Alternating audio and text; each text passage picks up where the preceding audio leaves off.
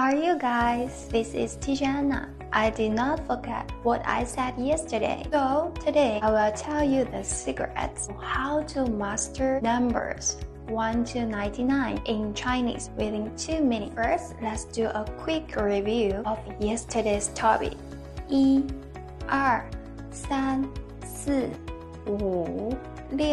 2, 3, 4, 5, 6, 7, 8, 9, 10. When you see a number bigger than 10, we should disassemble the numbers first. We must go from big into small. Let me give you an example. 11. Following by the rules I taught, let's the 11. We start to read 10 digits first and followed by the single digits. 10, 11. One more exercise. 18. 18 equal to 10 plus 8, 10, 20.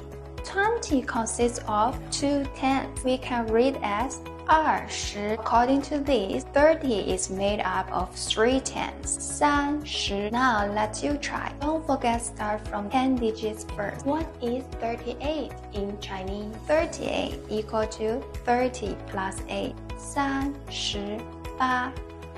One more try. 99.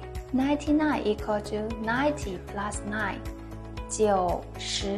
99. Your assignment for today. Can you say this number in Chinese by yourself? Write your answer directly in the comment. I will give the answer in the next video too.